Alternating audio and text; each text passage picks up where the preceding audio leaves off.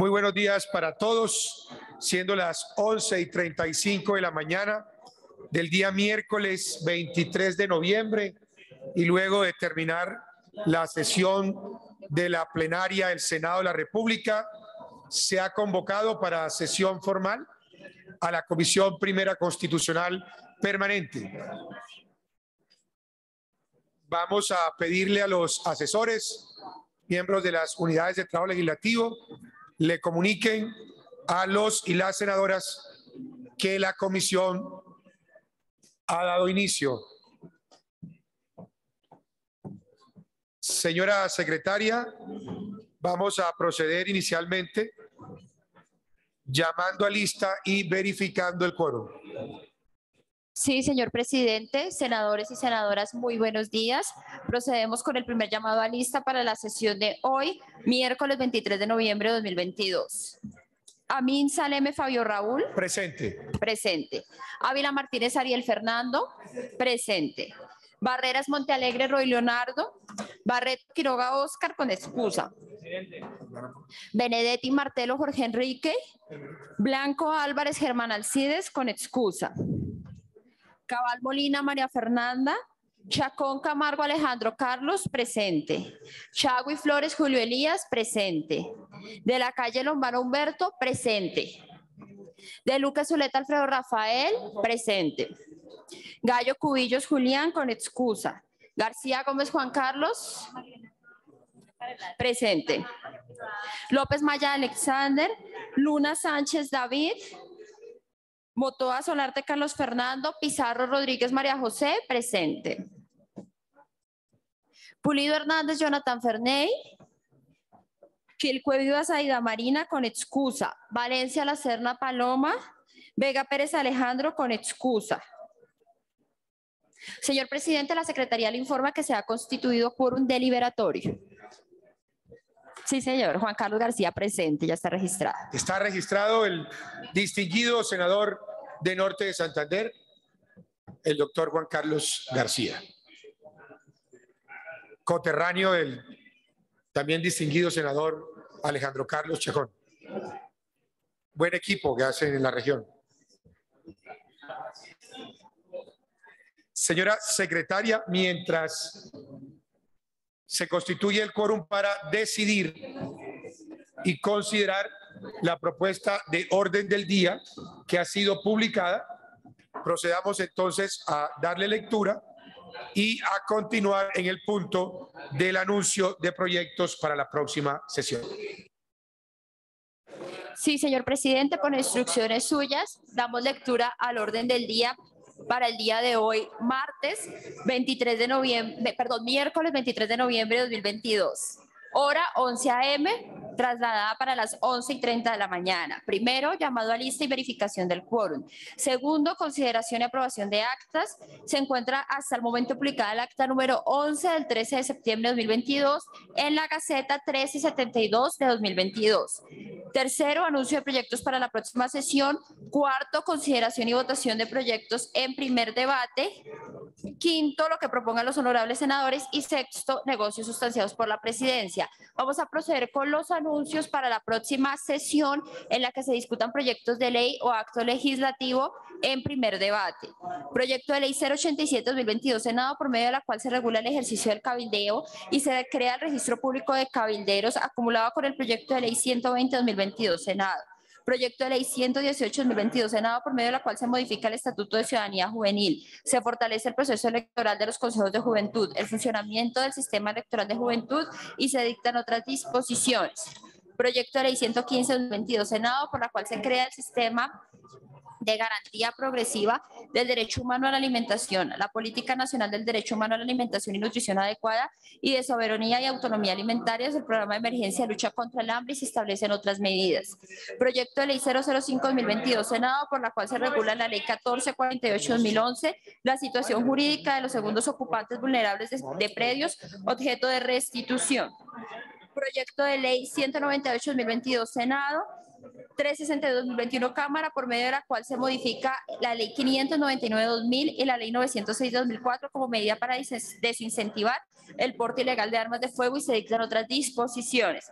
Proyecto de ley 055-2022 Senado, por la cual se desarrolla el tratamiento penal diferenciado para pequeños agricultores y agricultoras que estén o hayan estado vinculados con el cultivo de plantaciones de uso ilícito y las actividades derivadas de este, de acuerdo con las disposiciones del punto 4.1.3.4 del acuerdo final para la terminación del conflicto y la construcción de una paz estable y duradera. Proyecto de ley 156-2022 Senado, por medio de la cual se adoptan reglas de procedimiento para las víctimas ante la Jurisdicción Especial para la Paz. Proyecto de ley 061-2022 Senado, por medio del cual se modifica el artículo 199 del Código de Infancia y Adolescencia y se dictan otras disposiciones. Proyecto de ley 127-2022 Senado, por medio del cual se autoriza a los municipios y departamentos para celebrar directamente convenios solidarios hasta la menor cuantía con las juntas de acción comunal, organizaciones afro y comunidades indígenas del territorio respectivo proyecto de ley 134-2022 Senado, 260-2021 Cámara, por medio del cual se prohíbe el uso de animales para disuadir manifestaciones, motines, sazonadas o cualquier otra afectación del orden público y se dictan otras disposiciones. Proyecto de ley 105-2022 Senado, por medio de la cual se establecen los cargos, oficios o profesiones susceptibles de aplicación de la inhabilidad por delitos sexuales contra menores y se dictan otras disposiciones en tornos seguros. Proyecto de ley 090-2022 Senado, por medio de la cual se establecen garantías para el ejercicio de la movilización y la protesta social como expresión de la participación ciudadana dentro de la apertura democrática y la construcción de la paz estable y duradera.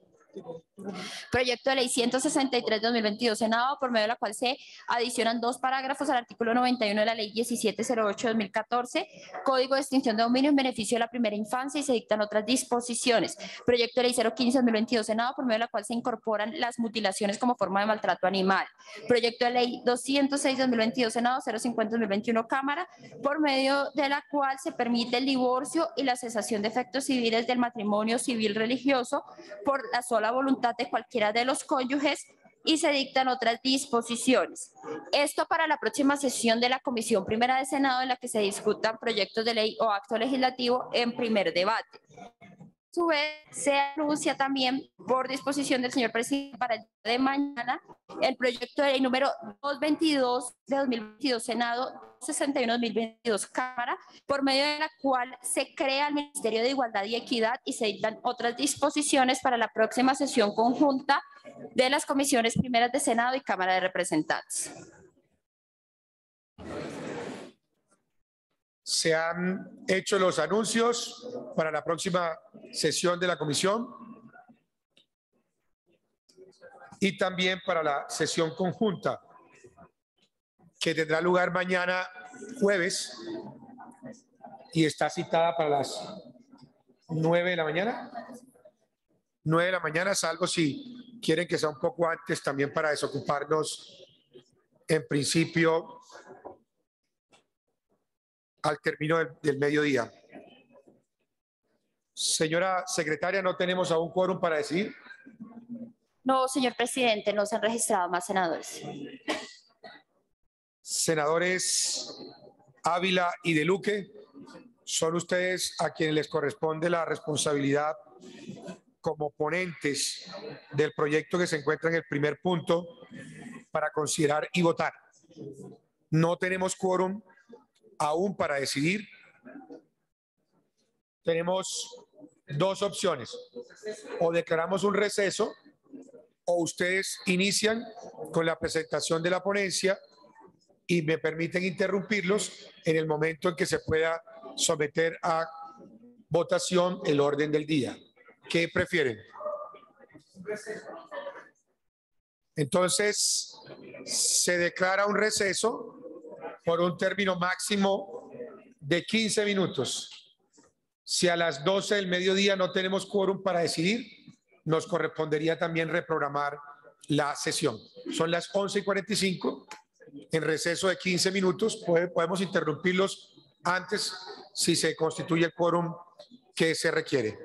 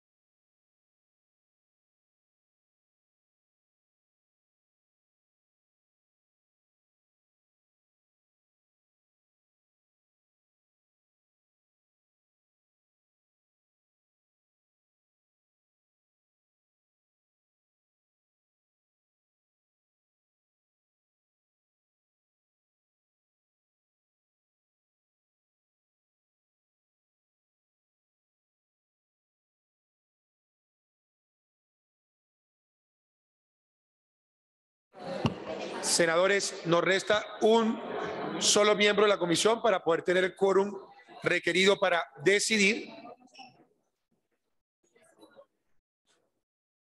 El senador Hernández Pulido ya está registrado. Pulido Hernández, JP. Entonces, señora secretaria, vamos a dar por terminado el receso. Sírvase llamar nuevamente a lista para verificar el quórum que presente la comisión en este momento.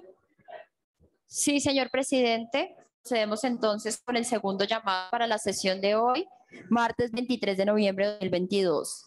Amin Saleme Fabio Raúl, presente. Ávila Martínez Ariel Fernando, presente. Barreras Montealegre Roy, Roy Leonardo, Reto Quiroga Oscar con excusa. Benedetti Martelo Jorge Enrique, presente. Blanco Álvarez Germán Alcides con excusa. Cabal Molina María Fernanda, Chacón Camargo Alejandro Carlos, presente.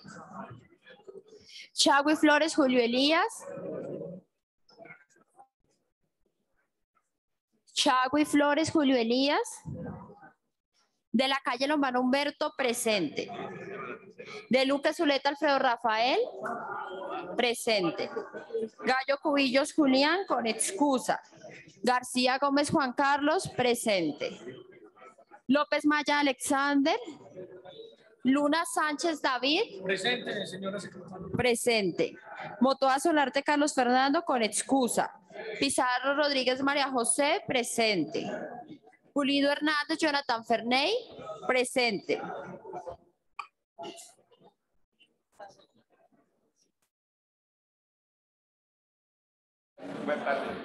Quilcue Vivas Aida Marina con excusa. Valencia La Serna Paloma. Vega Pérez Alejandro con excusa.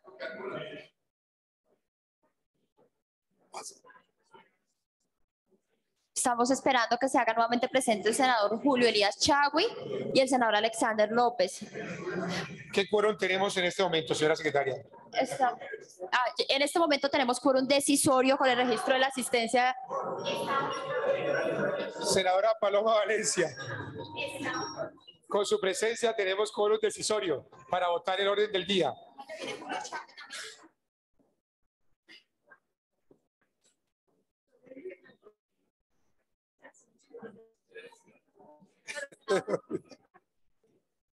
Ah, también tenemos al senador Julio Chávez de recinto.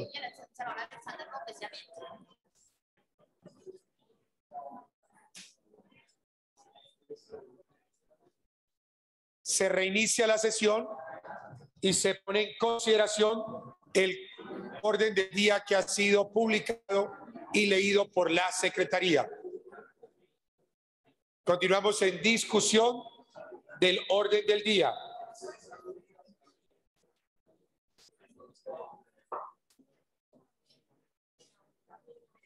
¿Se hay alguna propuesta de modificación sobre el orden del día?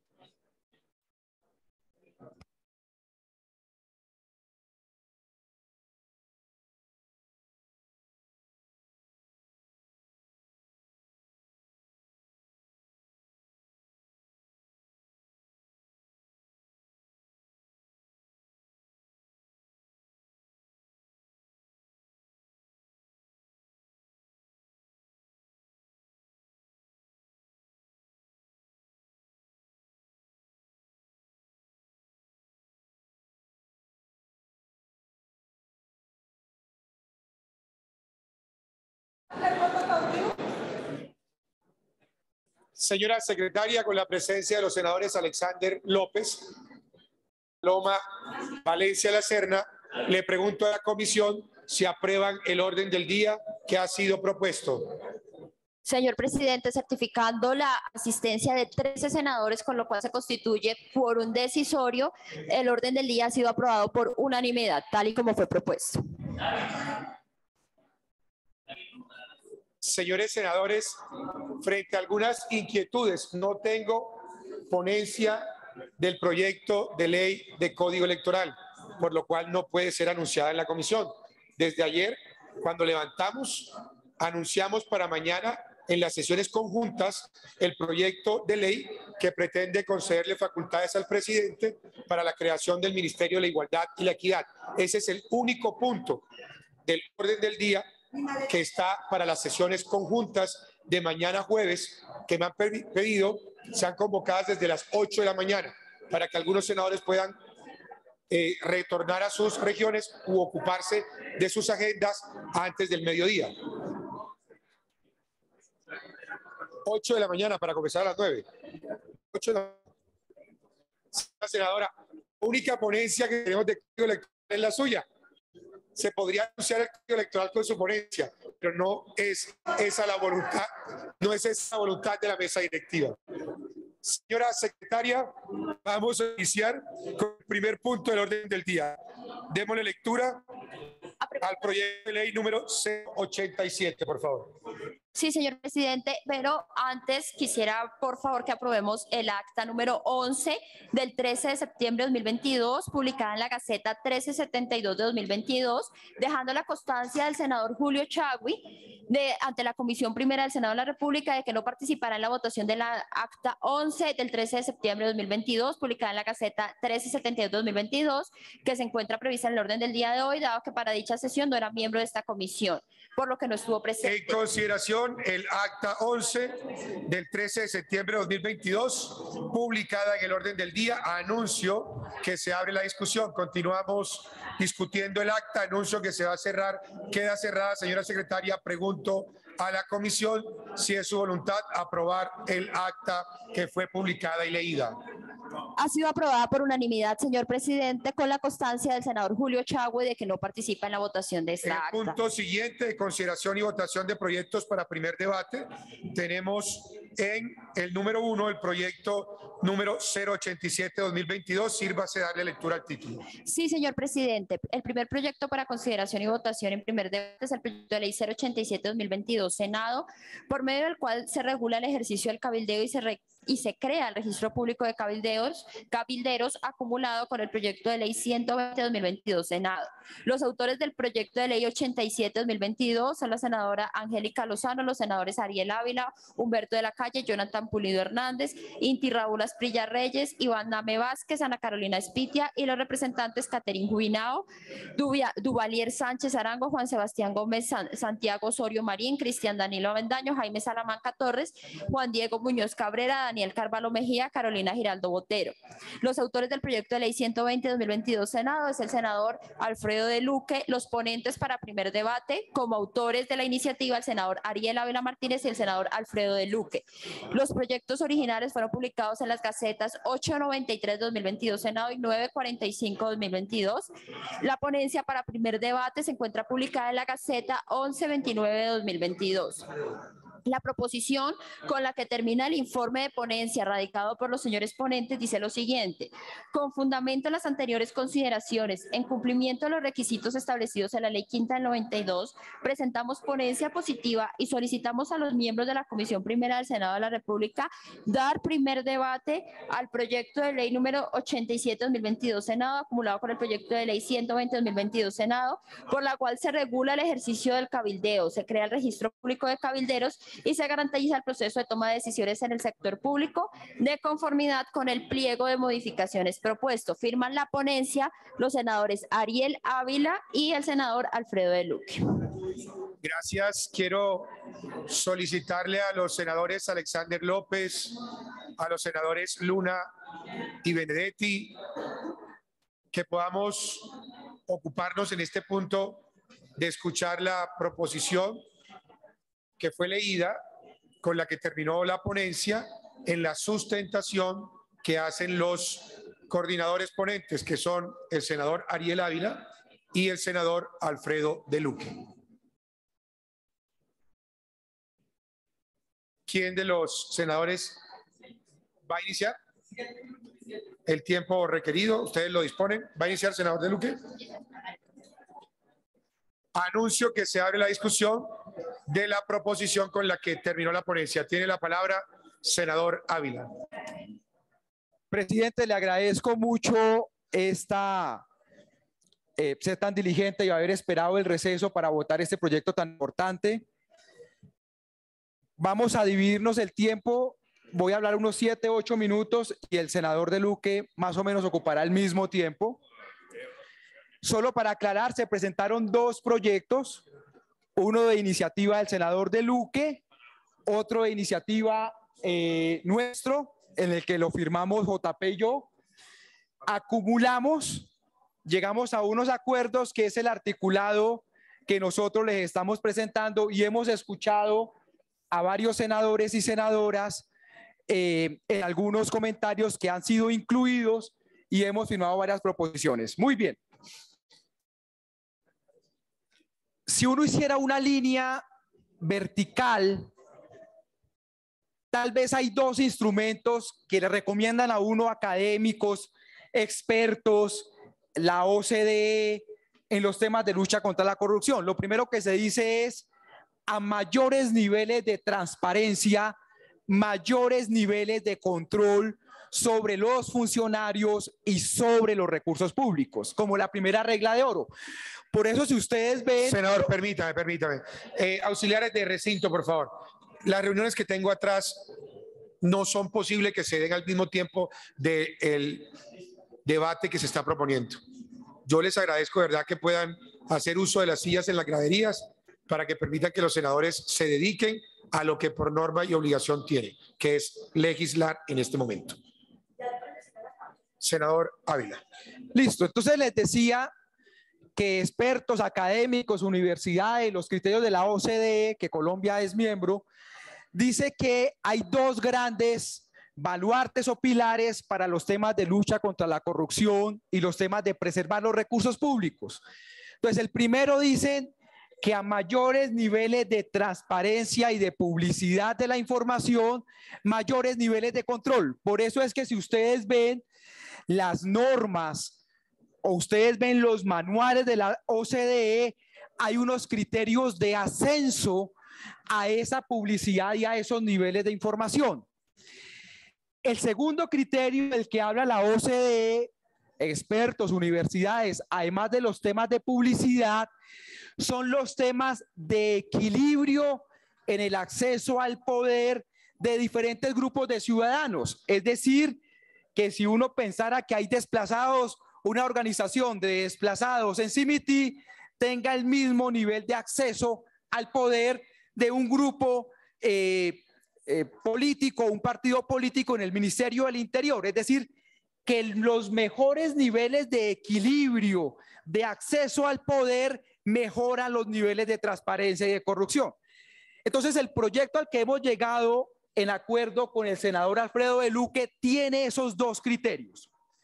Mayores niveles de publicidad en la información y mayores niveles de equilibrio en el acceso a las instituciones, funcionarios y demás que tienen y que administran poder.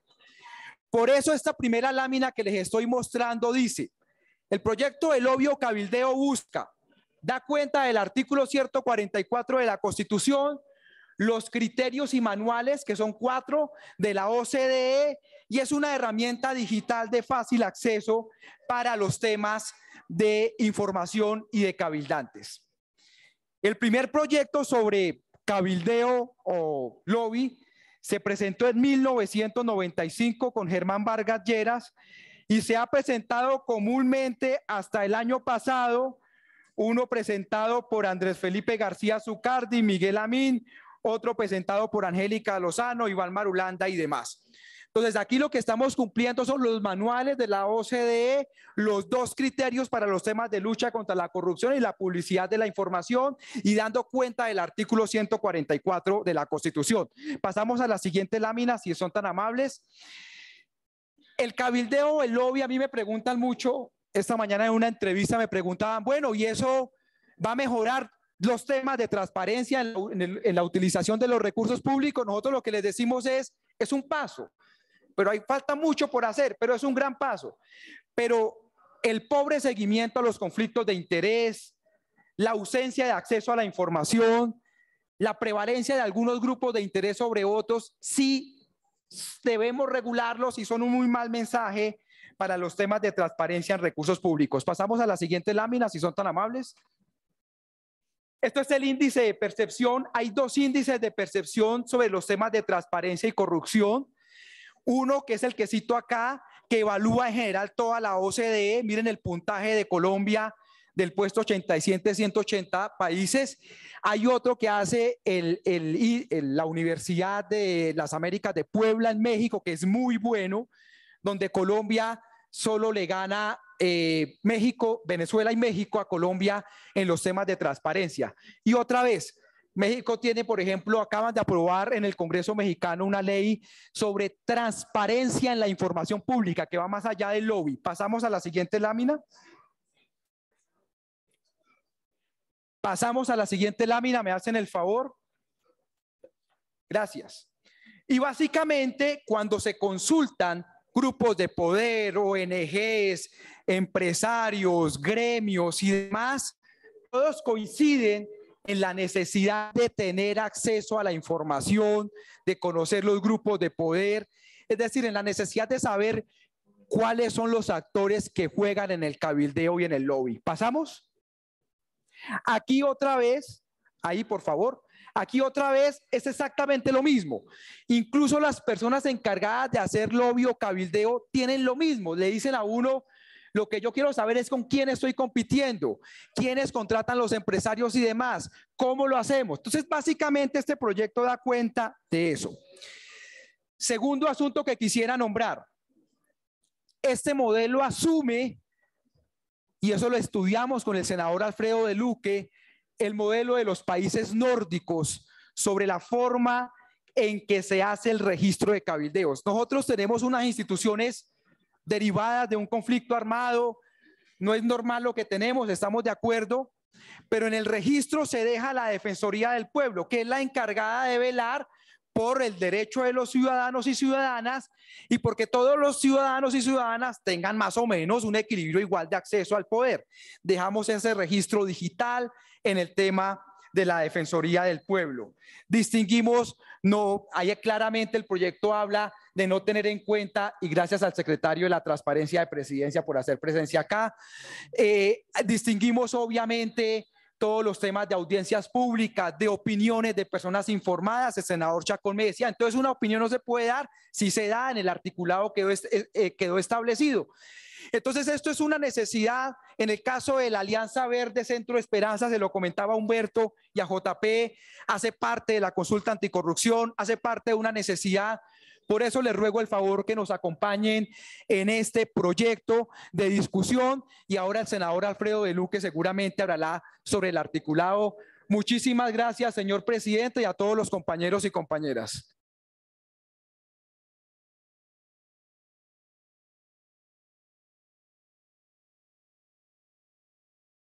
Para continuar en el tiempo de la sustentación de la ponencia, se comparte con el senador del partido de la U, Alfredo Rafael de Luque Zuleta. Gracias, señor presidente. Es muy importante esta oportunidad que hoy nuevamente tiene la Comisión Primera del Senado de la República de estudiar un tema tan importante que necesitamos regular en el Congreso. Qué difícil Señor presidente, señor secretario de Transparencia, de verdad muy agradecido que usted haga presencia hoy aquí con nosotros en esto, porque precisamente de eso queremos hablar, de transparencia. Qué difícil es para los políticos hacer política en el país, en muchos casos cuando se presume la mala fe del político. Qué difícil es hacer política en un país donde cualquier contacto que se tenga con alguna persona, entidad, sea de derecho público o privado, puede ser mirado desde la óptica de que puede constituir un acto de corrupción.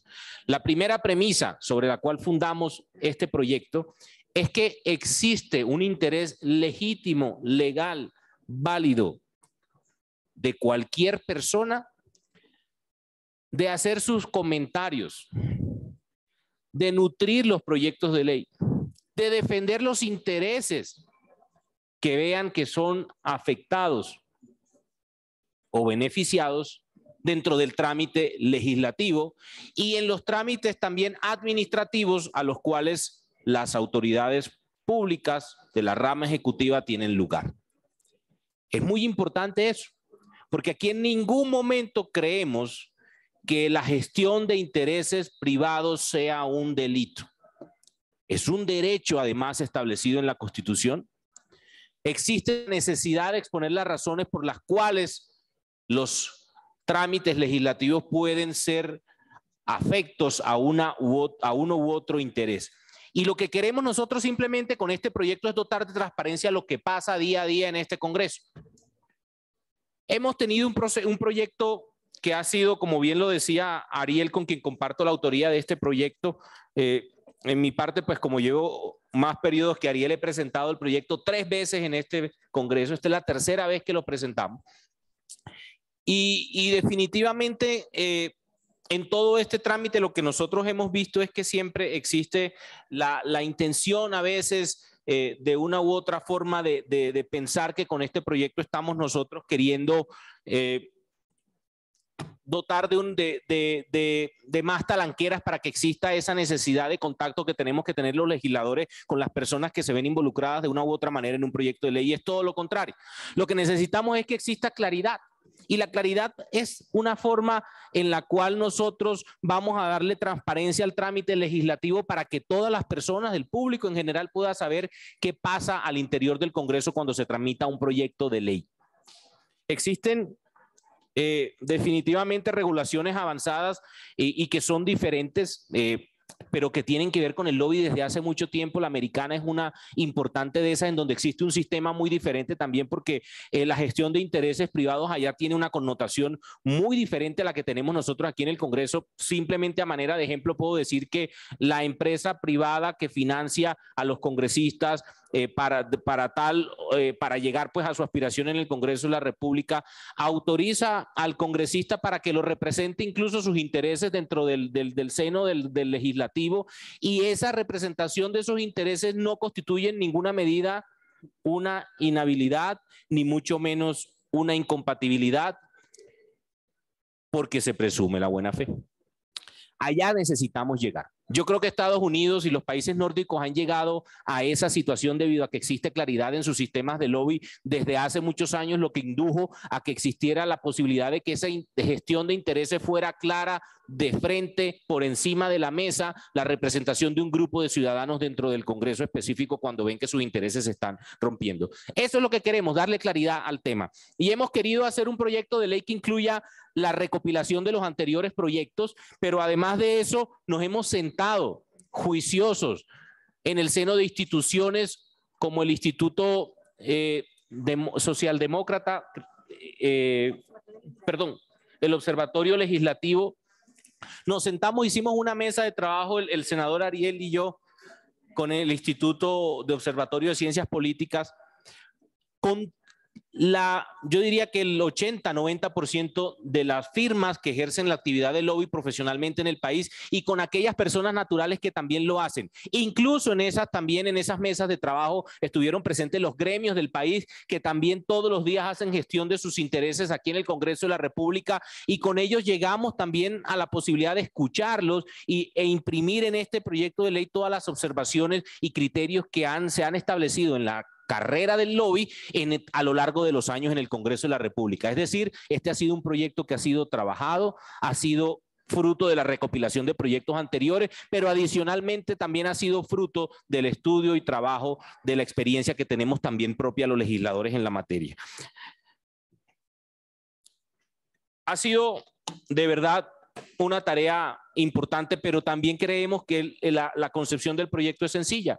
Definimos qué es el lobby, definimos quién lo puede hacer, definimos qué situaciones están excluidas del proyecto de ley, definimos también un régimen de sanciones que creo que hay que trabajarle un poco más, senador Chacón, creo que ahí hay que tener claro cuál es el alcance de cada una de esas que puede suceder.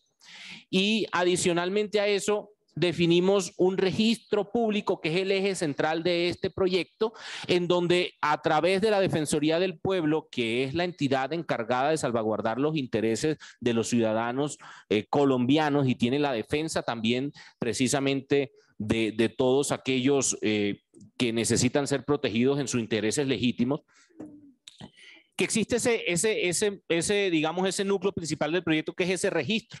Y es una cosa muy sencilla es que cada quien, cada cual o cada persona o cada entidad jurídica que quiera hacer la actividad de lobby se registre. Punto. Gratuito. Por internet, sin salir de su casa.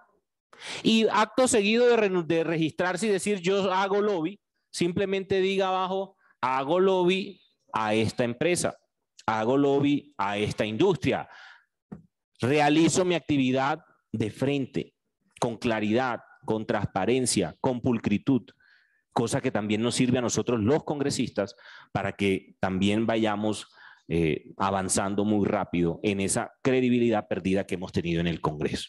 Eso es lo que estamos haciendo, señor presidente.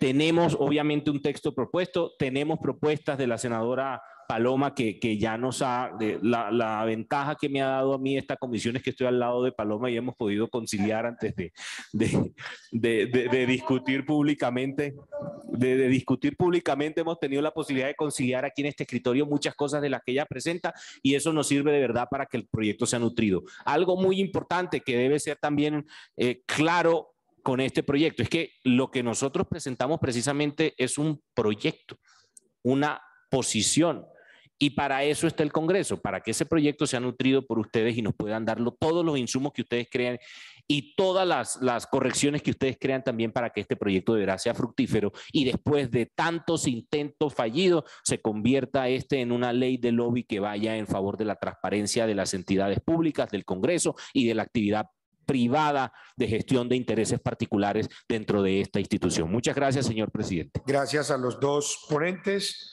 Vamos a continuar discutiendo la proposición con la que terminó la ponencia. Tengo dos senadores inscritos, que es el senador David Luna Sánchez y la senadora Paloma Valencia. Permítanme antes registrar y saludar la presencia del doctor Andrés Hidarraga, que es el secretario de Transparencia de la Presidencia de la República, y el doctor Andrés, cuando también lo considere pertinente. En este momento estamos hablando eh, en la discusión de la ponencia Luego vendrá también el bloque del articulado para que podamos hacer realidad, si es la voluntad de los senadores, esta iniciativa de ley. Senador David Luna Sánchez. Presidente, muchas gracias. Presidente, el Partido Cambio Radical va a acompañar hoy al doctor Ariel Ávila y al doctor De Luque por tres razones fundamentales. La primera, porque como lo dijo el doctor Ávila, desde 1995 venimos insistiendo en esta iniciativa que ha sido torpedeada por distintas razones y creo que hoy hay momentum para tramitarla. En segundo lugar, doctor de la calle, durante la reforma tributaria yo fui agredido constantemente por la hoguera digital, diciéndome que yo no debería votar la reforma porque había recibido financiación de empresas privadas.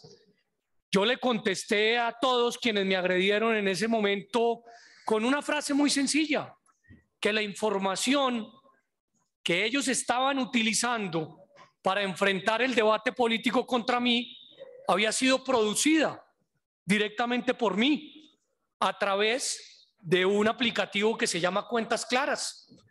Entonces, en la política, como lo dijo el doctor De Luque, no hay nada que esconder. Y en ese sentido, creo yo que esta norma le hace un gran bien, no solo a nosotros como congresistas, a quienes hacen su labor de lobby, sino a la comunidad, para que sepan con absoluta claridad quiénes tienen esas responsabilidades en determinados momentos a la hora de defender intereses legítimamente, porque defender intereses es legítimo. Lo que es ilegítimo es hacerlo por debajo de la mesa.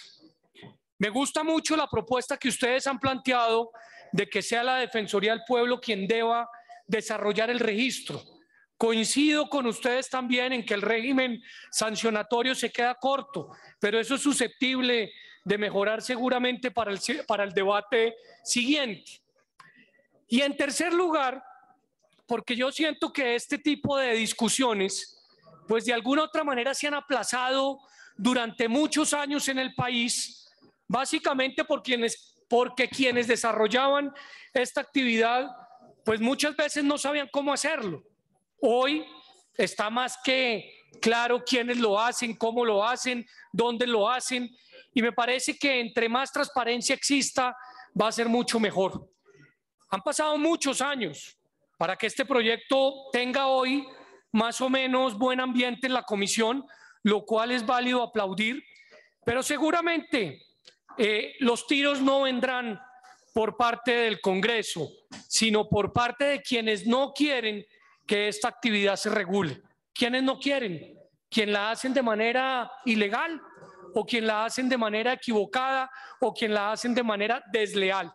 Por eso nosotros, presidente, vamos a acompañar el proyecto votando sí a la ponencia y al articulado. Gracias por el manejo del tiempo, senador Luna. Le pido lo mismo a los dos inscritos que tengo, que son la querida senadora Paloma Valencia, y terminamos con el senador Juan Carlos García. Muchísimas gracias, señor presidente. Yo soy una convencida de que muchos de los temas de conflicto de interés y de transparencia están relacionados con la información. Eh, todo el mundo tiene que tener, tiene intereses y está parado en un lugar en el mundo y tiene unos amigos y una visión del mundo. Ese no es el problema. Eh, esa idea de que es posible, esa idea positivista de que es posible el observador imparcial, el legislador imparcial, el periodista imparcial, el opinador imparcial, no es cierta. Todos somos seres humanos, sujetos a afectos, sujetos a eh, visiones del mundo. Todos estamos parados en un lugar determinado y eso está bien. Lo que no está bien es que se pretenda ser imparcial, se pretenda ser objetivo cuando no se es. Y solamente se puede construir una visión real de los intereses que representa cada persona, de los intereses que lo mueven, de las fuerzas que están eh, incidiendo en las decisiones que toman, cuando todos los demás colombianos pueden ver eh, quién lo financia, con quién habla, con quién se reúne, eh, quién está detrás de un determinado asunto. Y yo sí creo que el proyecto de cabildeo es bien importante. Eh, yo no creo que solucione todo, porque el problema es que muchos de quienes hacen el cabildeo ilegal, pues lo hacen de manera anónima, no se van a reportar, no van a decirlo. Pero sí es muy importante que la gente sepa pues cuando las empresas están buscando que no les suban los impuestos, eso no tiene nada ilegal.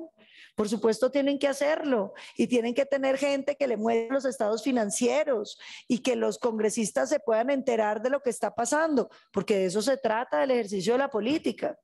Imagínense nomás, se dice es que hay que ponerle impuestos a los cereales. Pongo este ejemplo porque tal vez me llamó la atención, porque me sirvió para enterarme de muchas industrias que yo no conocía. Y, yo dije, bueno, pero todos esos cereales finalmente no importa porque muchos son importados. Y vine a descubrir, por ejemplo, que Kellogg's tiene sus mayores plantas de producción en Colombia y que los empleados que trabajan en Kellogg's pues son colombianos y generan y pagan impuestos es en Colombia. Y, y, y, y, eran cosas que no sabía como de tantos otros productos que uno viene a entender. Yo no veo nada de malo en que los congresistas hablemos con el sector real. Creo que es nuestro deber, es nuestra obligación. Y qué bueno que el ciudadano que nos esté viendo sepa con quién hablamos y qué fue lo que nos dijeron y para qué estamos hablando con ellos. Uno no puede pretender saberlo todo. Uno tiene que poder consultar los sectores que va a regular. Tiene que poder entenderlos, que le expliquen cosas, que le muestren de un lado y de otro, eh, para que usted pueda tomar decisiones informadas. Yo encuentro que este proyecto de cabildeo eh, va en esa dirección y por eso lo queremos acompañar. Yo tengo algunas observaciones, además de las que ya concerté aquí con eh, mi querido amigo y senador de Luque, em, que las vamos a radicar, pero yo sí creo que esto es bien importante. Y esto tiene que ver con un tema, presidente, que yo tengo que mencionar, eh, y es fundamental, la financiación de las campañas. Dirá alguno, ¿y eso qué tiene que ver? Yo creo que es exactamente lo mismo. Aquí de lo que se trata es de que uno sepa quién financia, qué congresistas, no que eso genere conflicto de interés, eso lo que tiene que generar es que uno sepa cuáles son los sectores a los cuales está afiliado ideológicamente un congresista y que sepa con quién habla, con quién se reúne, eh, qué es lo que le dicen. Yo creo que eso es bien importante y esa transparencia hace parte de la que le falta a Colombia, donde los debates se dan muy por debajo de la mesa. A propósito de la financiación de campañas, yo pensaba, no solamente me parece importante porque es el vínculo y uno de los mecanismos mediante los cuales el sector privado puede expresar eh, su, su deseo de hacer congresista a una u otra persona, sino sobre todo porque es el momento donde el sector privado también puede escoger la gente que le sirve eh, eh, o que cree que le puede servir a Colombia. Y yo creo que uno no puede tener la mezquindad de pensar que es que compran congresistas. Eh, porque yo no creo que haya conciencias tan baratas. Lo que hay es el deseo de uno impulsar ciertas personas y de tratar de que salgan adelante. Y lo que no puede ser es que la plata del sector privado sea muy buena para llenar las arcas de la nación, pero muy contaminante para la política colombiana. Entonces, la que les quitamos a la fuerza sí es muy buena, pero la que ellos quieren dar, esa sí es pecaminosa. Y ojo con ese camino, porque entonces podría uno decir que también los medios de comunicación no tienen por qué recibir dinero de los privados, presidente, y que tienen que ser todos financiados por el Estado. Y vamos llegando a un régimen estatista. Es que las señales del mercado, del sector productivo, también son señales importantes para algunos. Eh, la plata no hace la política. Yo, yo siempre digo que eh, uno necesita poca plata para la política cuando, cuando la ciudadanía reconoce lo que uno hace los cuatro años. Em, mi campaña inicia el día siguiente de que me posesiono, o mejor dicho, ese mismo día, y por eso la ciudadanía me conoce. Ya el doctor De Luque me está haciendo fama de que eh, eh, Presento mucha cosa en los proyectos, pero claro, porque eso es el compromiso que yo asumí. Yo anuncio mi voto favorable a este, algunas observaciones sobre el tema y creo que no me gusta sobre todo la duplicidad de que se suba en el registro, pero además la entidad lo tenga que hacer. Creo que es un gasto innecesario. Un solo registro robusto, suficientemente grande, creo que es suficiente, senador Ariel. No se necesita que la entidad lo suba y el otro lo suba, porque eso va a generar una cantidad de confusión. Creo que un solo registro, con un solo inventario de todas las actividades que se vayan realizando, va generando eh, el mecanismo de transparencia que se quiere hacer. Gracias, presidente. Gracias, senadora Valencia. Termino las intervenciones de los senadores con la suya, senador Juan Carlos. Y si bien lo tiene, doctor Andrés, interviene y sometemos a votación la ponencia y luego el bloque de artículos que además está consensuado en la mayoría de las proposiciones. Para una moción de orden en este momento, después del senador García. Gracias, senador. Gracias, señor presidente. Muy breve, primero manifestar el acompañamiento y apoyo a este proyecto de ley. Eh, que en varias ocasiones, como han manifestado los distintos ponentes en el día de hoy, pues ha cursado aquí en el Congreso de la República. Eh, obviamente como una herramienta más, ¿no? Para tratar de dar un poco de, de mayor transparencia frente a, la actuación de, los cabildantes en nuestro país. Yo quería de pronto hacer algunas recomendaciones eh, en el día de hoy a los ponentes para ver si pueden ser tenidas en cuenta, que las analicen para la ponencia en el segundo debate. Y es si es posible que se pueda extender a las corporaciones públicas territoriales, analícenlo, si pueden ir a asambleas y consejos eh, la relevancia de un acuerdo municipal también eh, tiene su injerencia muy fuerte en los municipios, lo mismo que en las asambleas, entonces sería bueno también tratar de ampliar este espectro.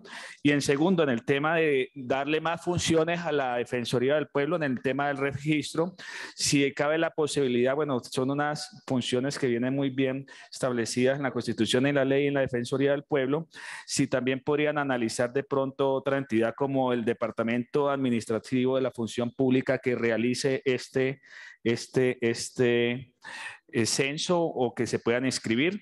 Yo creo que hay, son más especializados en el tema, en el tema de la función pública y podrían pues darle una mejor garantía que a la Defensoría del Pueblo sobrecargarla si no estaríamos en otras, en otro proyecto que va a garantizar darle unas potestades para que más personal tenga la Defensoría del Pueblo. Señor presidente, era muy breve estas dos consideraciones con el ánimo de construir y ayudar en la construcción de este proyecto del cabildeo. Gracias. Gracias, senador. Para la moción de orden, compartidario. Pres- presidente, como están en el informe de ponencia, no sé si hacer una referencia general sobre algunos temas o esperamos el articulado para discutir algunas de las inquietudes que tengamos, como usted considere es el procedimiento, presidente, en esta votación. Tengo, tengo bastantes preguntas por hacer que podrían no ser en este momento, sino en, en el articulado, presidente, como usted disponga. Es solo para preguntar. Senador, tengo solo cuatro proposiciones radicadas y las cuatro están consensuadas y avaladas. Tengo proposición de los senadores Pulido y de Luque, Paloma, Ariel, de Luque y Cabal, de Luque y Benedetti. Leí cada uno de los cuatro artículos que van a ser motivo de someter a consideración con proposiciones avaladas. La suya, senador Benedetti, es la del artículo 14. La avalaron, senador Benetti. Bueno, entonces hagamos algo para no entrar en una discusión que aún no, no. Vamos a votar ponencia, vamos a votar ponencia y les pido algo entonces. Les pido algo entonces. Senadores, eh, si se pueden, en el momento en que estamos votando la ponencia, ponerse de acuerdo con los coordinadores ponentes frente al resumen de las proposiciones. Yo someto a votación la ponencia, luego de la intervención del secretario de Transparencia y la Presidencia, e inmediatamente abordamos, como me lo recomendó el senador Chacón, el articulado. Y abrimos discusión. Doctor Andrés Idarraga. Bueno, muy buenos días, tardes ya a todos y a todas. Un saludo especial, presidente, para usted, a los ponentes, el senador De Luque, el senador Ávila y, por supuesto, a las bancadas de gobierno. Eh, para nosotros, para el gobierno nacional, ustedes bien saben cuál es la postura en materia de la necesidad de transparentar el funcionamiento de lo público, de la lucha contra la corrupción, pero para llegar a esto, senadores y senadoras, es fundamental recuperar la confianza que la ciudadanía y las empresas privadas han perdido en el Estado. Si nosotros no logramos recuperar la confianza de la ciudadanía, difícilmente vamos a lograr, senador Ávila, gracias a su gestión, poder volver a recuperar la integridad pública para lo cual este proyecto de ley de reglamentar el lobby el cabildeo resulta fundamental. Nosotros nos encanta saber que eh, también senadora Paloma nos acompaña en esta postura porque le hallamos la razón en sus argumentos y por supuesto, senador de Luque, en lo que usted también ha venido planteando a lo largo de sus intervenciones. Para nosotros la reglamentación del cabildeo resulta fundamental y desde el gobierno nacional eh, y yo como vocero del presidente de la República en temas de transparencia anticorrupción, senador Ávila, pueden contar con todo el apoyo del gobierno nacional para avanzar en este proyecto, tan solo con algo que quiero, senador Ávila, poner en su consideración. Nosotros creemos que ese, ese registro de lobistas, de que eh, no debería estar en la Defensoría del Pueblo. Entonces queremos, senador Ávila, poner en su consideración que ese registro de cabildantes de cabildeo requede radicado es en la Secretaría de Transparencia de la Presidencia de la República y no la Defensoría del Pueblo. Desafortunadamente, la Secretaría de Transparencia en el gobierno anterior le iban volviendo tan transparente que casi la invisibilizaron. Hoy, la Secretaría de Transparencia de la Vicepresidencia de la República regresa a la Presidencia de la República. Es el mensaje político que este gobierno le quiere dar para que la Secretaría de Transparencia de acuerdo al Estatuto Anticorrupción, articule cómo debe ser la lucha anticorrupción y no la sigan transparentando al punto de invisibilizar quién es llamado a luchar contra la corrupción y por la transparencia. Entonces, senador Ávila y ponentes y senadores y senadoras colocar en su consideración en el proyecto de ley que ese registro eh, para el cabildeo que en la Secretaría de Transparencia y no en la Defensoría del Pueblo. De tal manera, reiteramos nuestro respaldo, senador Ávila, a este proyecto y aquí seguiremos atentos a lo que ustedes dispongan. Gracias, doctor Hidarraga. Anuncio que se va a cerrar la discusión. Se cierra, señora secretaria, sírvase llamar a lista. Votando sí, se aprueba el informe con el que terminó la ponencia, sustentado por los coordinadores. Ávila y de Luque, votando no, se negaría. Sí, señor presidente, para votar la proposición con que termina el informe de ponencia que dice, con fundamento en las anteriores consideraciones, en cumplimiento con los requisitos establecidos en la Ley Quinta de 1992, presentamos ponencia positiva y solicitamos a los miembros de la Comisión Primera del Senado dar primer debate al proyecto de Ley 87-2022 Senado, acumulado con el proyecto de Ley 120-2022 Senado, por la cual se, se regula el ejercicio del cabildeo, se crea el registro público y se garantiza el proceso de toma de decisiones en el sector público de conformidad con el pliego de modificaciones propuesto, Proposición que firman los senadores Ariel Ávila y Alfredo de Luque. Ávila Martínez Ariel Fernando. Voto sí. Vota sí. De Luque Zuleta Alfredo Rafael. Vota sí. Amin Saleme Fabio Raúl. Voto sí. Vota sí. Barreras Montealegre Roy Leonardo. Barreto Quiroga Oscar con excusa. Benedetti Martelo Jorge Enrique. Vota sí.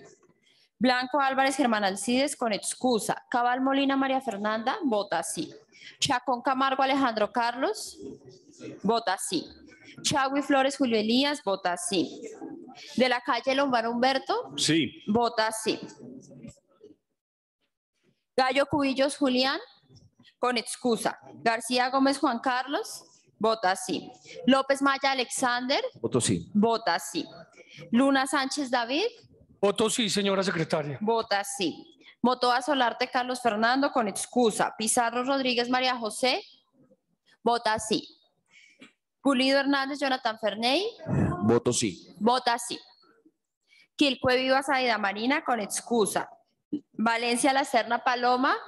Vota sí. Vega Pérez Alejandro con excusa.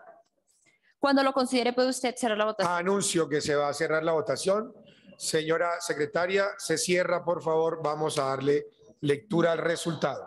Sí, señor presidente, han votado 14 senadores y senadoras, todos por el sí. En consecuencia, la proposición con que termina el informe de ponencia del proyecto de ley 87 ha sido aprobado. Mi cuadro de articulado, por favor. Coordinadores ponentes. Tenemos 16 artículos, de los cuales solo cuatro de ellos tienen proposiciones.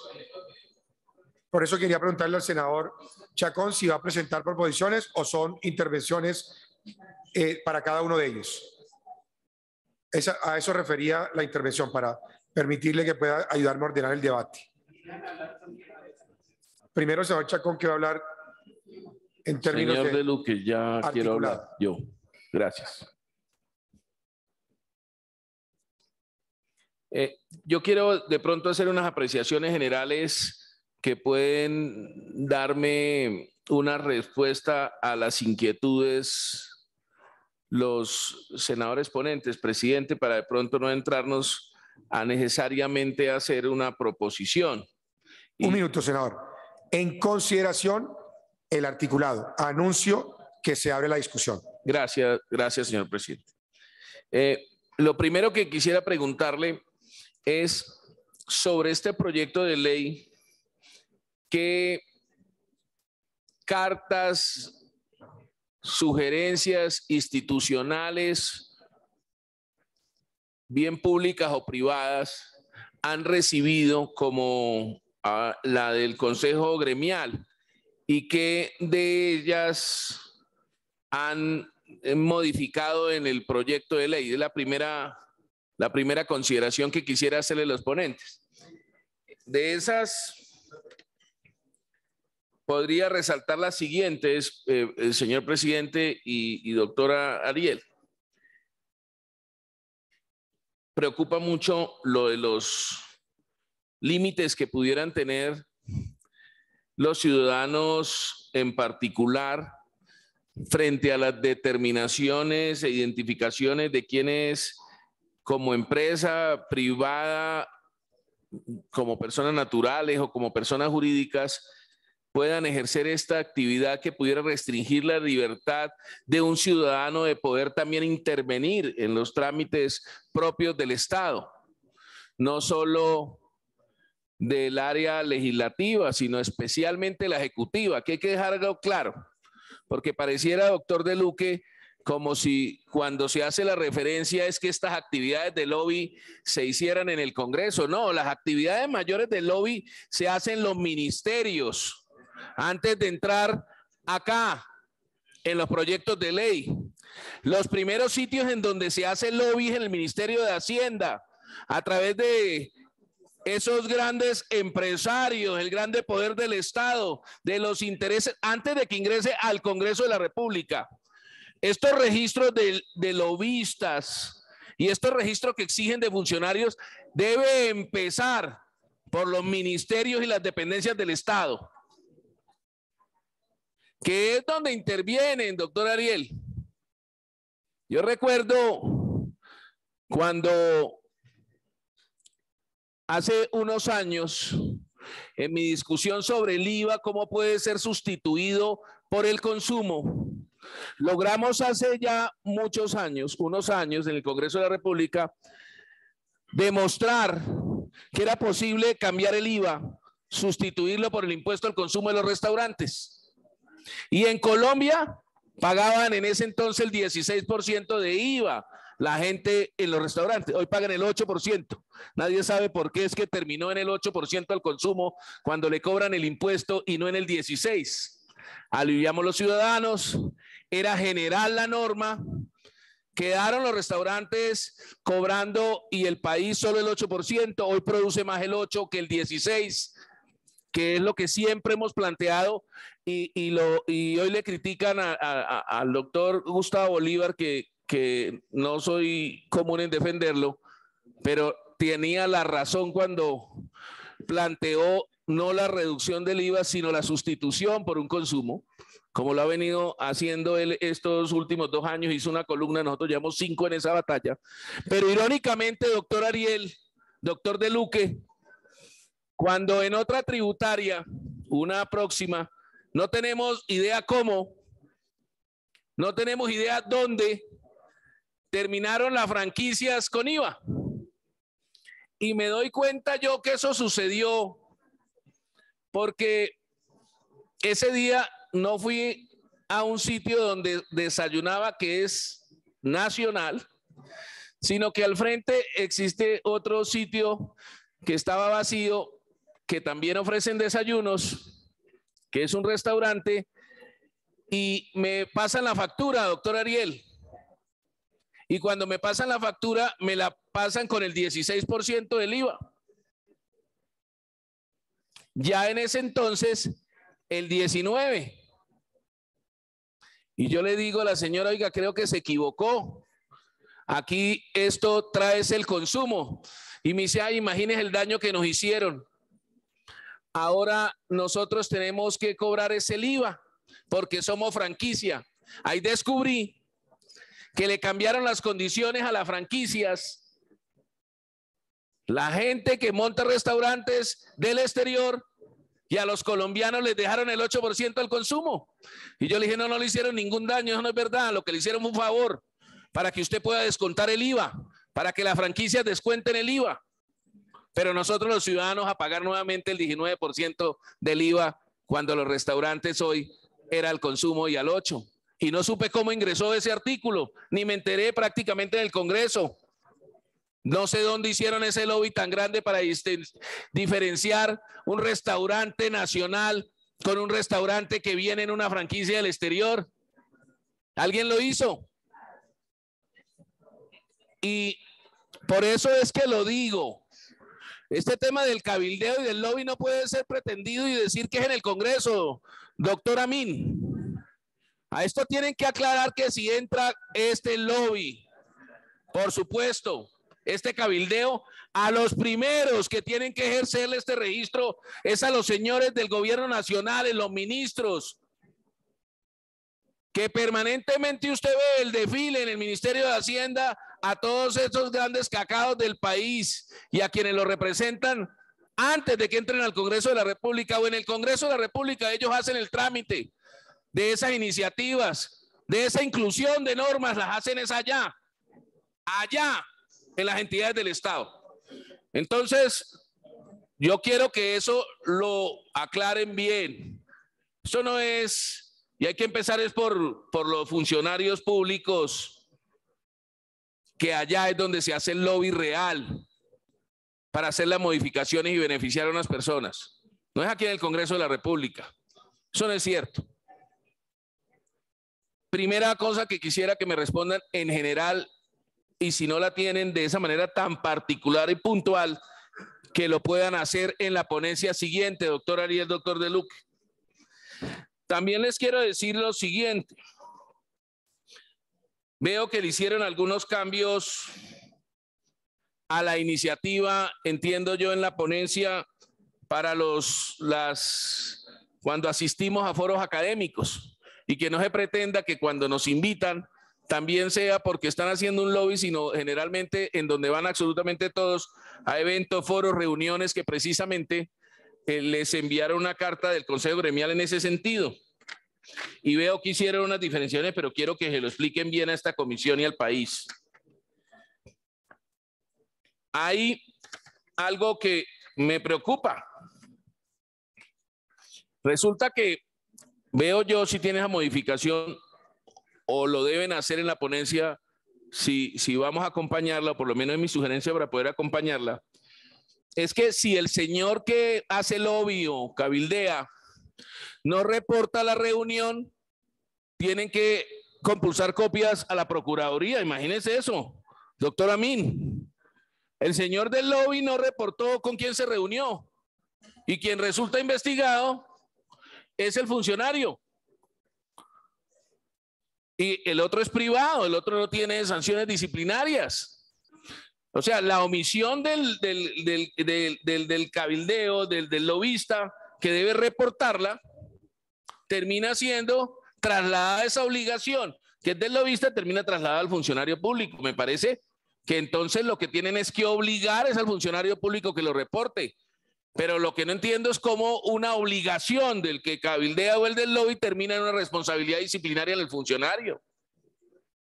Eso me parece que, que no es consecuente con las responsabilidades individuales de acto de lo que debe ser precisamente esto. Entonces, eh, yo lo acompaño, me parece que tiene, que, que está muy simple, que está muy vaga, muy general la iniciativa, que debieran puntualizarse mucho más los artículos en las definiciones para poder eh, tener más claridad. Ya lo, están diciendo, la vaguedad en, las terminologías hacen que pueda surtirse cualquier tipo de, dificultades en la interpretación de la norma. Eso me parece que es importante señalarlo. Cuando dice el articulado, el texto para la primera ponencia, ejemplo en el artículo tercero, doctor Ariel, doctor De Luque, ámbito de aplicación. La presente ley aplicará por las actividades de cabildeo lobby taxativamente enumeradas en la misma. Parágrafo primero, que es donde viene la, la discusión. No estarán sujetos a la regulación aquellos servidores públicos que realicen actividades anteriormente descritas en el ejercicio de sus funciones, lo que yo estoy diciendo. Entonces, eh, eh, aquí lo que están liberando es a los que realmente pueden estar haciendo el verdadero cabildeo. Que reporten también los funcionarios públicos si vienen aquí con un interés personal, aquí o están haciéndolo con un interés personal en las entidades públicas. Entonces, esto me parece que, que esa, ese parágrafo primero debieran aclararlo mejor. Cuando dice séptima, obligaciones de los servidores de las autoridades. Son obligaciones de las autoridades mencionadas. ¿Cuáles?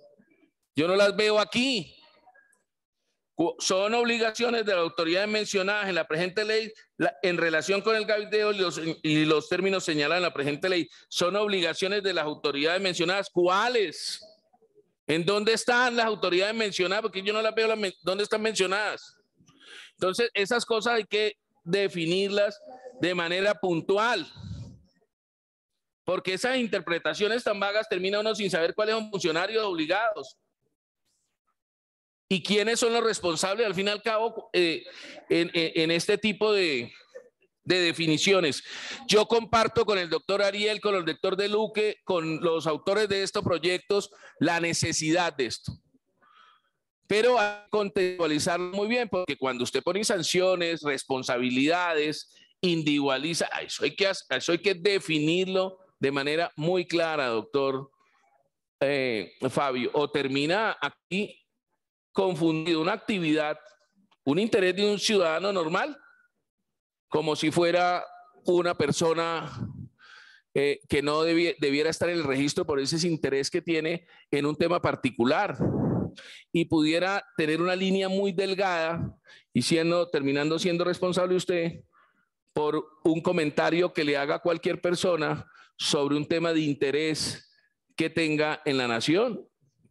O terminar generando es unas actividades empresariales a los que se registran y que termine solo estas empresas nacionales o internacionales contratando a unos señores que son tres o cuatro los que hacen esa actividad empresarial y lo que terminemos generando es un negocito para tres o cuatro empresas que generan lobby y, cabildeo en el país y que solo a través de ellas que termine generándose la relación entre la cosa pública y el privado y el Estado. Yo eso hay que determinarlo de manera muy puntual porque estaríamos limitando la libertad y el derecho que tienen los ciudadanos también de intervenir en la cosa pública, de intervenir en el Congreso en un interés particular de una ley, un ciudadano, una veeduría, cualquiera, un periodista que de manera particular esté siempre preguntando y preocupado por alguno de los trámites que se haga aquí o en el Ejecutivo. Entonces, me parece importante hacer estas aclaraciones generales, doctor Ariel, para que las tengan muy en cuenta. Yo la acompaño de manera muy puntual, entiendo la necesidad, pero creo que hay que hacer unas mejores definiciones en, el siguiente debate. Eh, tranquilo, senador, me puede decir Fabio que soy su compañero. Eh, senador Chacón, sabe que he atendido con mucho interés su intervención y si a bien lo tienen los senadores de Luque y Ávila que van a responder, la mesa considerará también incluirlo como ponente a la ponencia en el siguiente debate para la plenaria del Senado de la República. Senador Ariel Ávila, por favor. No, solo esto, igual con el senador Benedetti. He anotado acá, nos comprometemos en la mesa, eso hablé con el secretario de Transparencia, una mesa que tengo miedo que se nos rompa el quórum, pero lo acompañamos. Pero de entrada le respondo lo siguiente, senador Chacón. Eh, eh, sobre el artículo 3, me comprometo a especificarlo muy bien en el parágrafo, en el parágrafo 1 mejor. aceptamos una proposición a, aquí al senador JP sobre ese asunto clarificando más, pero lo podemos clarificar. Frente a lo que no es considerado cabildeo como el interés de un ciudadano, un periodista y demás, el artículo octavo trae las realizadas por personas naturales o jurídicas, las opiniones, sugerencias, etcétera. Ahí yo me comprometo, si quieren lo revisamos y podemos especificar más, pero está claro que una actividad, un periodista, un interés de un ciudadano porque el Estado cumpla su función, como por ejemplo derechos adquiridos como el de la salud, no va a ser considerado lobby, pero lo especificamos mejor. Frente al tema del Ejecutivo, tiene usted toda la razón. En el artículo 2 está y la proposición de JP, de hecho, se habla sobre la rama ejecutiva y legislativa. Entonces, hacemos una cosa si estamos de acuerdo. Si estamos de acuerdo con lo sugerido por el senador Benedetti, que lo dejó como constancia, le agradezco. Los cinco comentarios suyos y el del secretario de Transparencia, Andrés Hidárraga, hacemos una mesa técnica y consensuamos eso para entonces tenerlo en plenaria y poderlo aprobar. Listo, presidente. Senador De Luque, senador De Luque, creo que podemos terminar la discusión con su intervención. Senador De Luque.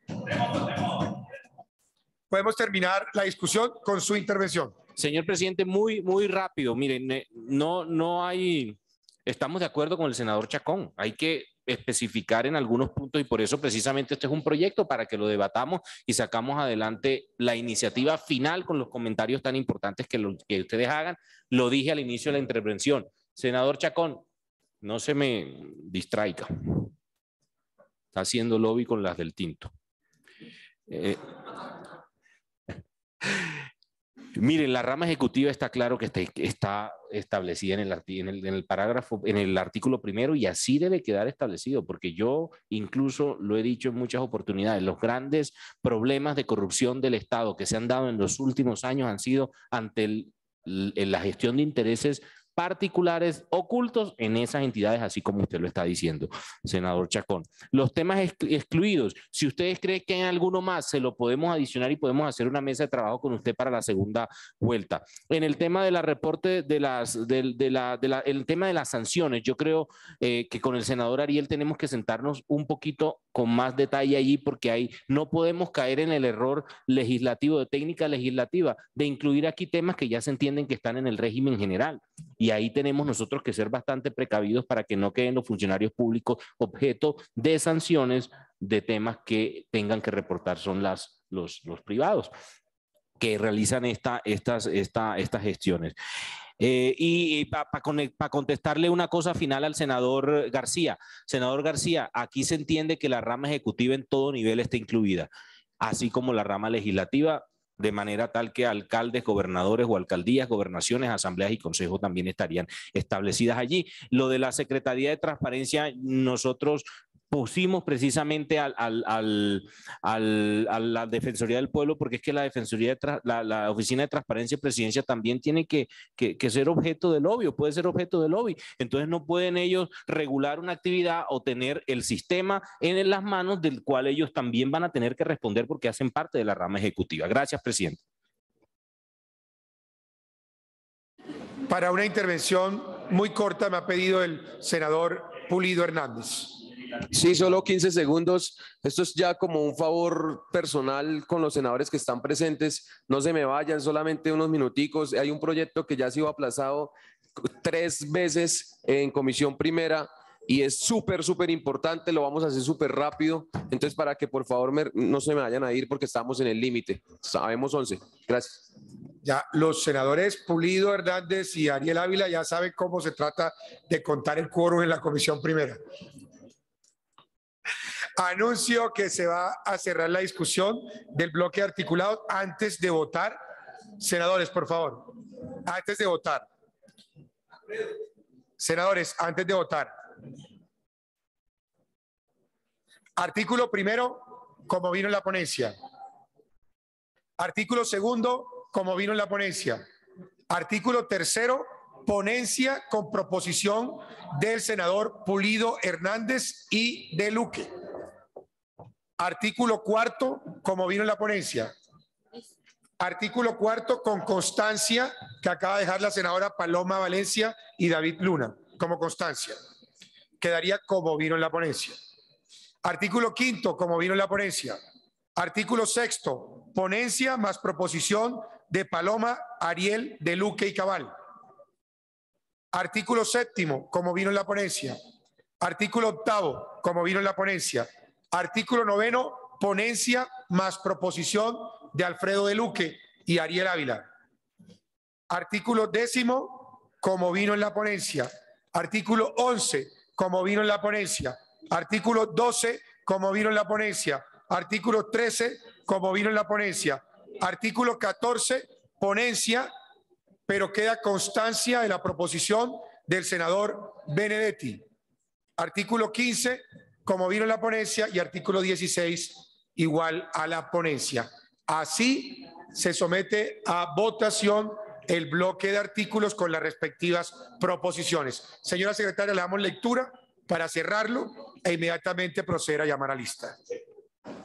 Sí, señor presidente, para leer las respectivas proposiciones. Proposición artículo tercero, ámbito de aplicación. La presente ley se aplicará a las actividades de cabildeo o lobby que se adelanten en la toma de decisiones de las actuaciones de la rama ejecutiva y legislativa tal como se definen en la presente ley. Parágrafo primero, no estarán sujetos a esta regulación aquellos servidores públicos que realicen las actividades anteriormente descritas en ejercicio de sus funciones. Parágrafo segundo, las actividades de derecho privado podrán las entidades de derecho privado podrán realizar lobby o cabildeo a través de sus representantes legales o de quien deleguen eh, cumpliendo con los requisitos previstos en esta ley o de quienes deleguen bueno, cumpliendo con los requisitos de la presente ley, dice lo mismo. Proposición, modifíquese del artículo sexto del proyecto de ley 087-2022, Senado. Artículo sexto, registro de actividad. El registro público de cabilderos contendrá la información sobre cada una de las áreas y decisiones en que el cabildero o su oficina toma parte. El reporte deberá estar disponible en la página web del registro. Firma la senadora Paloma Valencia, los senadores Ariel Ávila, Alfredo de Luque y la senadora María Fernanda Cabal. Proposición, artículo noveno. Prohibición. Ningún funcionario público puede adelantar actividades de cabildeo, salvo las indicadas en el artículo séptimo de la presente ley. Las mismas serán objeto de sanción de conformidad con la ley disciplinaria correspondiente. La anterior disposición se entenderá sin perjuicio de la facultad de gestionar actividades relacionadas con las decisiones a tomar por otros funcionarios públicos dentro del marco del ejercicio de sus funciones han sido leídas las proposiciones de los artículos tercero, sexto y noveno, señor presidente. Anuncio que se cierra la discusión del bloque de artículos con las proposiciones que fueron leídas y que han sido acogidas por la coordinación de ponencia. Señora secretaria, vamos a llamar a lista. Votando sí, se aprueba. Bloque de artículos, proposiciones. Démosle lectura al título, por favor, para considerarlo en esta misma votación. Y luego la pregunta, si es la voluntad de la comisión que el proyecto continúe en trámite a convertirse en ley de la República. Sí, señor presidente. El título del proyecto de ley 87-2022 Senado, acumulado con el proyecto de ley 120-2022 Senado, dice lo siguiente, por la cual se regula el ejercicio del cabildeo, se crea el registro público y se garantiza el proceso de toma de decisiones en el sector público. Y la pregunta, si la- la- esta comisión quiere que este proyecto pase a la plenaria del Senado de la República hasta convertirse en ley de la República. Señora secretaria, cerrada la discusión, llame a lista. Votando sí, se aprobó o se aprueba el bloque de artículos con las proposiciones, el título y la pregunta. Votando no, se negarían. Sí, señor presidente. Ávila Martínez Ariel Fernando. Voto sí. Vota sí. De Luque Zuleta Alfredo Rafael. Sí. Vota sí. Amin Saleme Fabio Raúl. Sí. Vota sí. Barreras Montealegre Ruy Leonardo. Barreto Quiroga Oscar con excusa. Benedetti Martelo Jorge Enrique. Vota sí. Blanco Álvarez Germán Alcides con excusa. Cabal Molina María Fernanda. Vota sí. Chacón Camargo Alejandro Carlos. Vota sí. Chagui Flores Julio Elías. Vota sí. De la calle Lombano Humberto. Gallo Cubillos Julián con excusa. García Gómez Juan Carlos, vota sí. López Maya Alexander, Voto sí. vota sí. Luna Sánchez David. Motoa Solarte Carlos Fernando con excusa. Pizarro Rodríguez María José, vota sí. Pulido Hernández Jonathan Ferney, vota sí. Quilcue Vivas Aida Marina con excusa. Valencia La Serna Paloma, vota sí. Vega Pérez Alejandro con excusa. Anuncio que se va a cerrar la votación. Cierre votación y comparta el resultado, señora secretaria. Sí, señor presidente, han votado 12 senadores, todos lo han hecho por el sí. En consecuencia, el articulado con las proposiciones leídas, el título y la pregunta de tránsito han sido aprobados. Gracias. Ponentes, por favor. Vamos a considerar los mismos ponentes, senadores Ariel Ávila y senador Alfredo de Luque, para que en un término de ocho días rindan ponencia. Y adicionamos al grupo de ponentes al senador Alejandro Carlos Chacón, quien con sus aportes ha enriquecido el debate de nuestro proyecto de ley. Gracias. Señores senadores y senadoras, agotado el orden del día. Vamos a continuar al siguiente punto. Vamos a continuar con el siguiente punto. Señor senador, es que me habían hablado varios senadores que se retiraban, pensé que no teníamos coro. Siguiente punto en el orden del día, señora secretaria.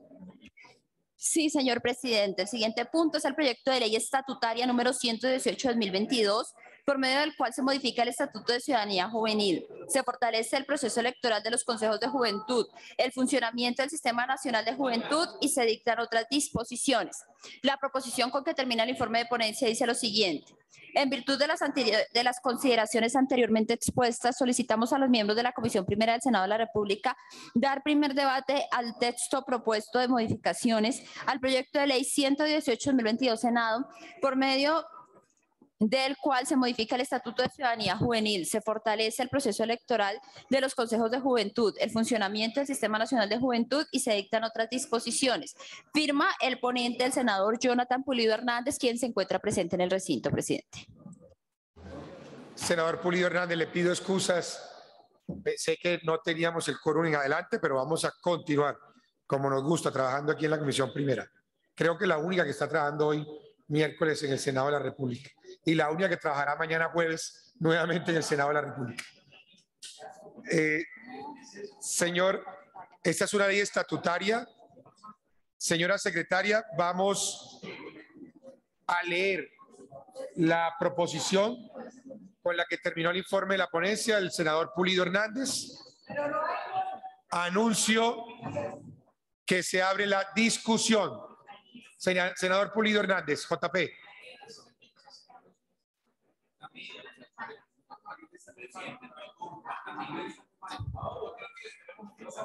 Senador JP Hernández, para sustentar la proposición con la que terminó la ponencia, para votarla. ¿Sí quiere? Ya se leyó la proposición. Ya se leyó. Susténtela por un Sí, sí, sí, sí, no, no, no. eh, Hay dos proposiciones que están avaladas. Entonces, ya que los veo como afanaditos, ¿por qué no votamos eh, la ponencia? Presidente. Toca votar la ponencia y para eso estábamos esperando la presencia del senador Ariel Ávila en el recinto. Anuncio que se va a cerrar la discusión de la proposición con la que terminó la ponencia. Queda cerrada, señora secretaria, llame a lista. Votando sí, se aprueba la ponencia. Votando no, se negaría. Sí, señor presidente, para votar la proposición con que termina el informe de ponencia al proyecto de ley estatutaria 118-2022 Senado. Pulido Hernández, Jonathan Ferney. Voto sí. Vota sí. Amin Saleme Fabio Raúl. Voto sí. Vota sí. Ávila Martínez Ariel Fernando. Vota sí.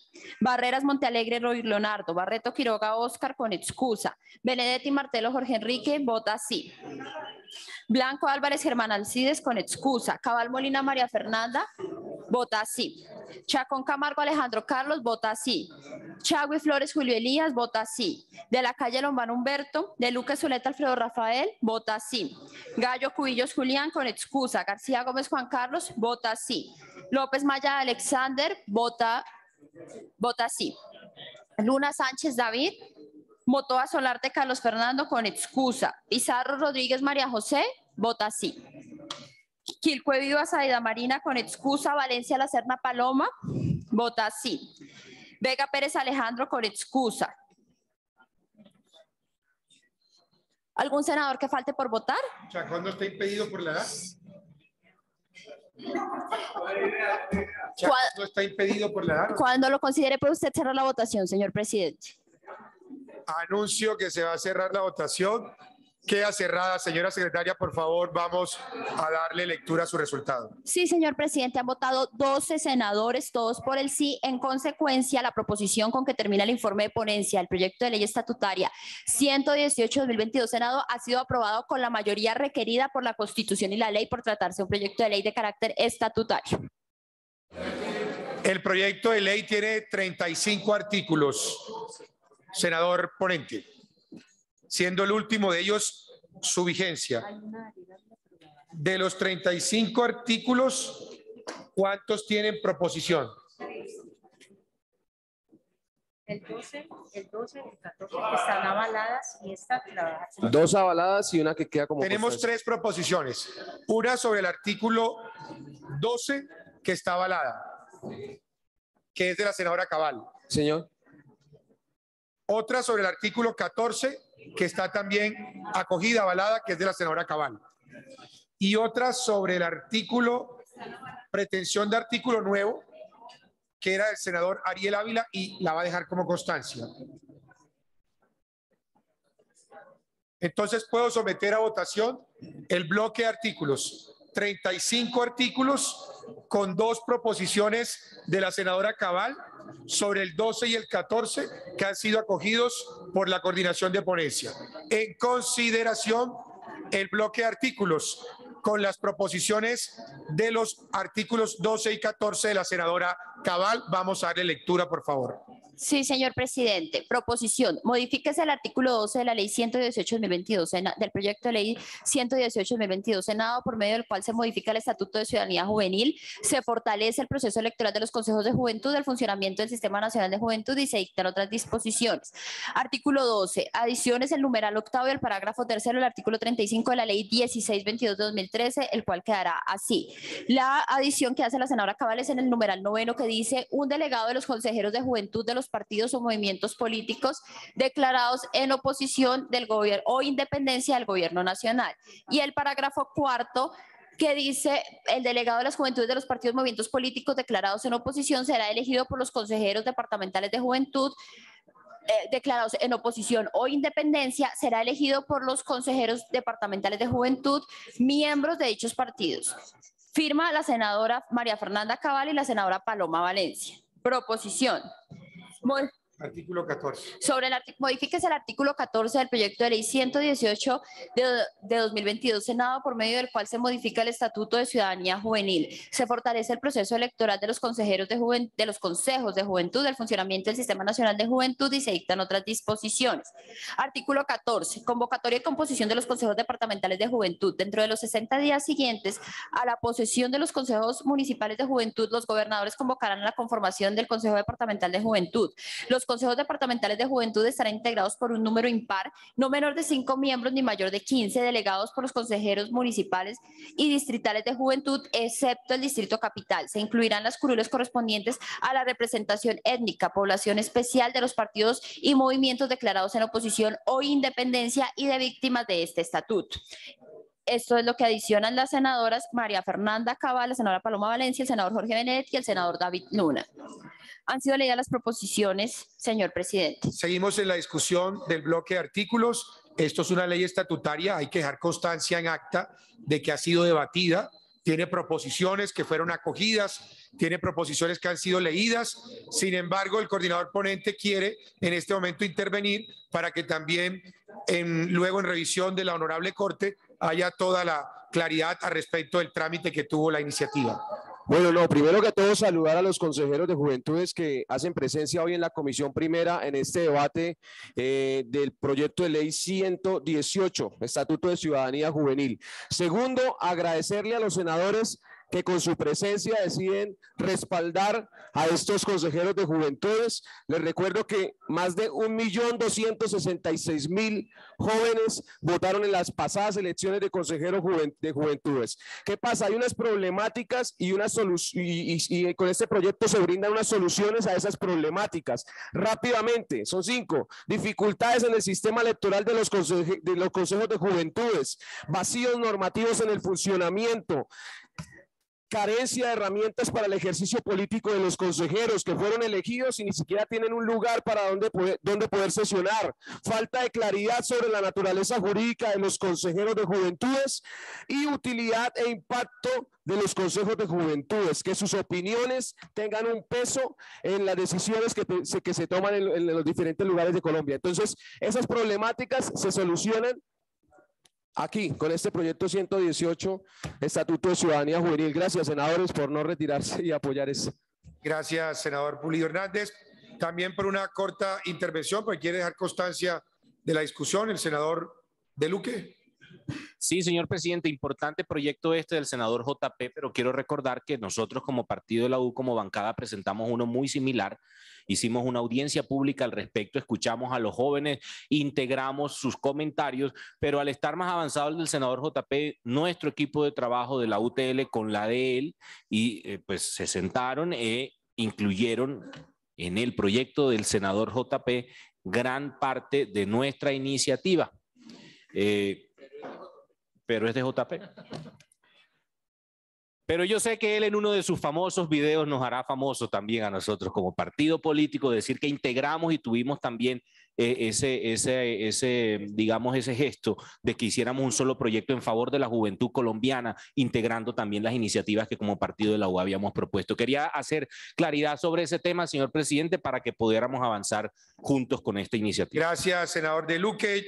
En este momento de la discusión se registra como quedará en acta la presencia de los jóvenes que son miembros de los consejos nacionales, departamentales y municipales de juventudes que han estado aquí en el recinto haciendo parte integral de la discusión de esta importante iniciativa de trámite a través de proyecto de ley estatutario. También está aquí el concejal del Partido Verde, Julián Sastoque, a quien lo saludamos en nombre de los senadores y senadoras miembros de la Comisión Primera.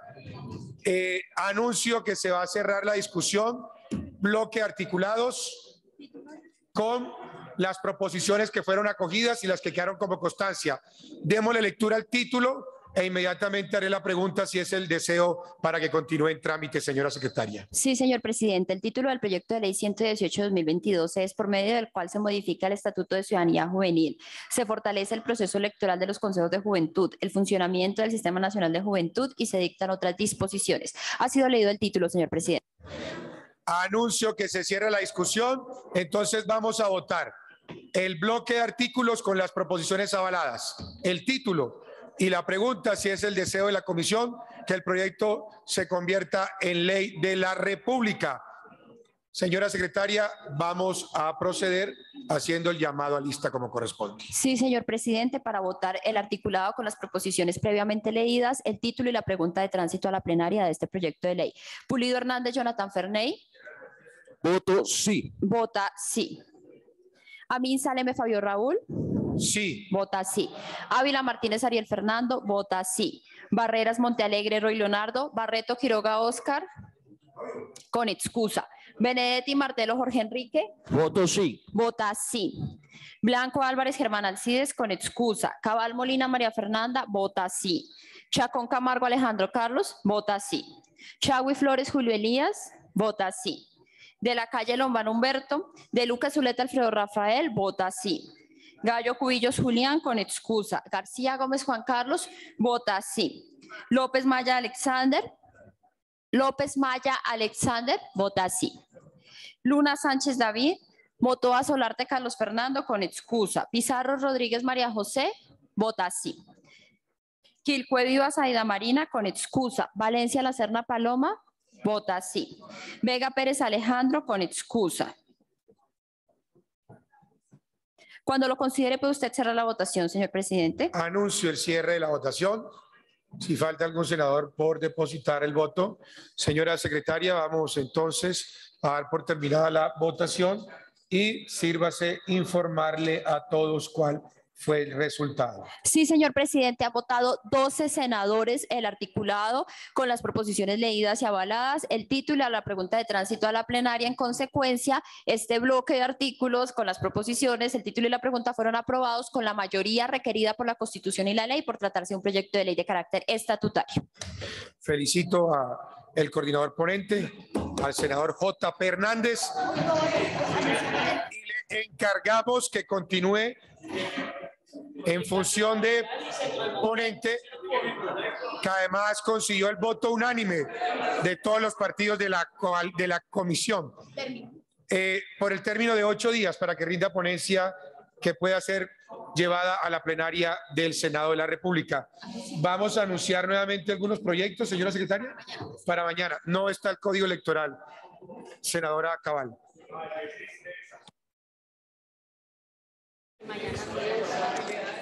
Sí, señor presidente, se procede con el anuncio de proyectos para la próxima sesión conjunta de las comisiones primeras de Senado de la República y Cámara de Representantes. Se anuncia el proyecto de ley 222 de 2022 Senado, 261 de 2022 Cámara, por medio de la cual se crea el Ministerio de la Igualdad y Equidad y se dictan otras disposiciones. Ha sido hecho el anuncio, señor presidente, para la sesión, la próxima sesión conjunta que sea convocada por la mesa directiva. Agotado el orden del día, se levanta la sesión ordinaria presencial de la comisión y se convoca para mañana jueves 24 de noviembre a las 8 de la mañana.